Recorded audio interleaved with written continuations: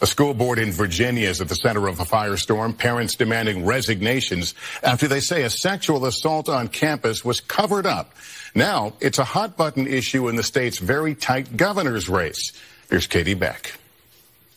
You failed. You failed. You failed. You failed. In Loudoun County, Virginia last night, parents reach a boiling point. Once again, school board members facing the heat. Resign or be removed.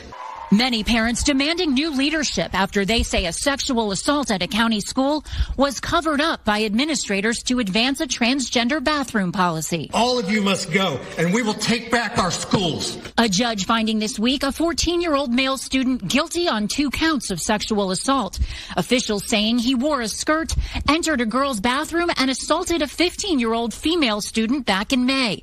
He was later accused of assaulting another student at another school in October. School leaders say they notified authorities of both allegations immediately, though at a June meeting, the superintendent saying this. Do we have assaults in our bathrooms or our locker rooms? To my knowledge, we don't have any records of assaults occurring in our restrooms.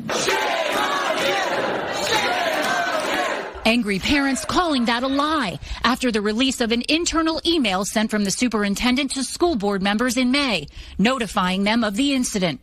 Ian Prior has two children attending Loudoun schools. They knew that this controversial bathroom policy that they were trying to pass would get derailed if that news got out. The superintendent recently apologized, saying he wrongly interpreted the question and does not believe there was any intent to deceive.